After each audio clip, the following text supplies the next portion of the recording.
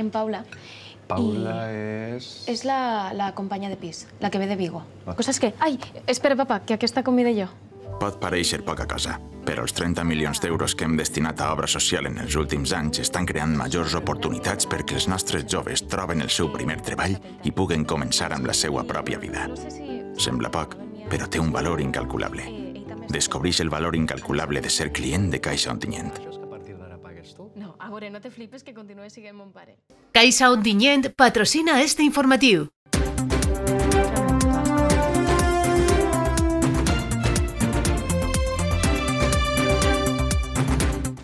El Col·legi Ros de Corella de Gandia denuncia l'abandó del pla edificant. Situació crítica del Parc de Bombers d'Oliva amb una reducció del 60% de la plantilla. El Col·legi Ros de Corella de Gandia ha denunciat públicament, a través d'un comunicat de l'AMPA del centre, el lamentable estat en el qual es troba l'escola dos anys després que començaren les obres de pla edificant i que només dos mesos després quedassen completament paralitzades. El resultat ha sigut infraestructures inutilitzades, algunes tan importants com canonades d'auia, i una gran part del pati tancat, amb nombrosos riscos i perills per a l'alumnat. L'equip directiu ha intentat durant mesos obtenir informació sobre el nou procés d'adjudicació i la resposta ha sigut sempre està tot molt parat, no hi ha pressupost. I és per això que ara tota la comunitat educativa ha dit prou i passa a l'acció eixint al carrer per a denunciar l'abandó absolut per part de la Conselleria i exigir que el projecte no es quede parat en un caixó. Així doncs, expressaran la seva protesta el proper 26 de març, a una concentració a València convocada per la Federació d'Associacions de Mares i Pares. I després, inclús, la intenció és manifestar-se també pels carrers de Gandia. Amb una reducció del 60% de la plantilla. Així treballen en el Parc de Bombers d'Oliva. Segons s'ha indicat fons sindicals dels bombers a Ràdio Gandia Ser, la situació és crítica des de fa més de 3 anys, una situació de la qual responsabilitzen al gerent i a l'inspector cap del Consorci de Bombers que porten en el càrrec diverses legislatures. En concret, el Parc d'Oliva és el que més està patint la retallada d'efectius, ja que no s'ha substituït als bombers que estaven interins i que finalment han aconseguit plaça en altres destins. Ara comptem a només 12 dels 24 bombers que els corresponen, una plantilla que es reduirà encara més el mes d'abril en la jubilació d'altres tres efectius. Des del passat 1 de març, que han començat accions reivindicatives, han deixat, per exemple, de fer hores extra, la qual cosa era habitual, i el dia 11 tenen prevista una reunió amb la taula de negociació. Si no accedissin a les seues peticions, que és la sessió dels actuals gestors, es plantegen fins i tot no acudir a l'acte de la crema de les falles. S'ha sol·licitat a l'actual diputat responsable del Consorci, Abelino Mascarell, que estiga en aquesta reunió perquè es faça càrrec de la situació. Per cert, encara que els comentem aquest cas d'Oliva, el problema es dona també en altres zones de la província.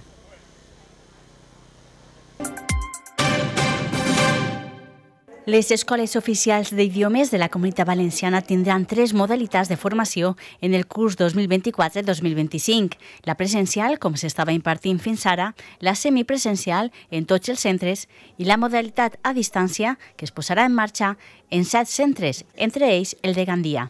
Es tracta d'una iniciativa perquè les persones que de normal abandonen els estudis d'idiomes per falta de disponibilitat tinguen més opcions d'acabar el curs.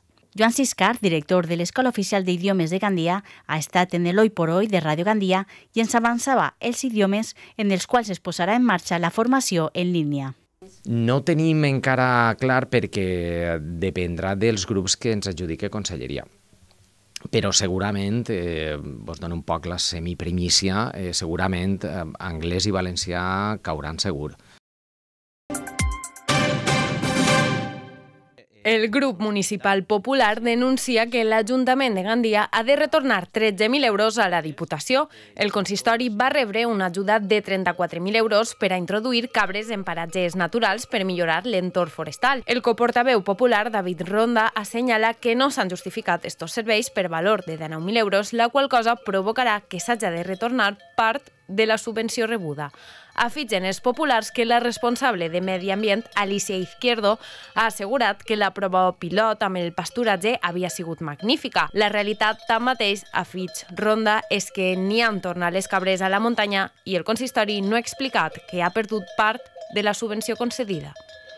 Ens has assabentat de que, bé, eh, n'hi ha una justificació de 20.946 euros, però no se justifiquen unes feines fetes per valor de 9.053 euros, el que això comporta la diferència de, tener, de tindre que tornar a la Diputació alrededor de 13.000 euros per no haver justificat aquestes faenes a dia d'avui.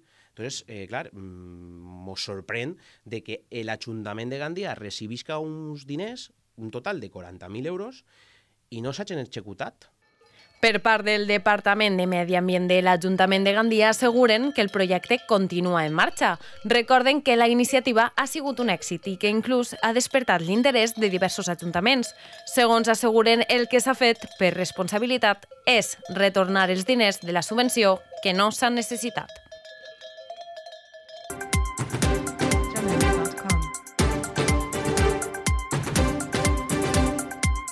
L'atleta de tavernes de la Valldigna, Vicent Ferreres, es va proclamar el passat cap de setmana per primera vegada campió d'Espanya sub-16 en la prova de bot de llargada.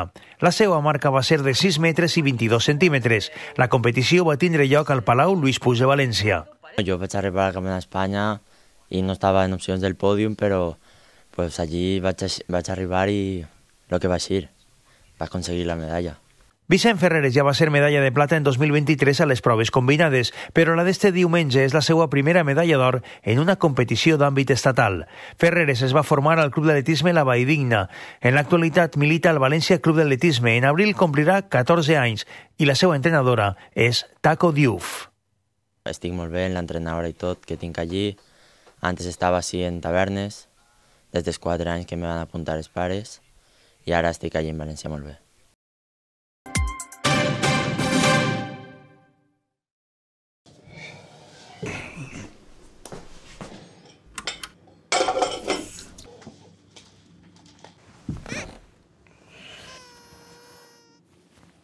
Pot pareixer poca cosa, però els 30 milions d'euros que hem destinat a obra social en els últims anys estan fent dels nostres pobles un lloc on els joves volen quedar-se i els majors se senten acompanyats.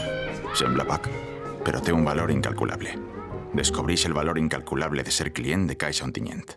Caixa Ontinyent ha patrocinat este informatiu.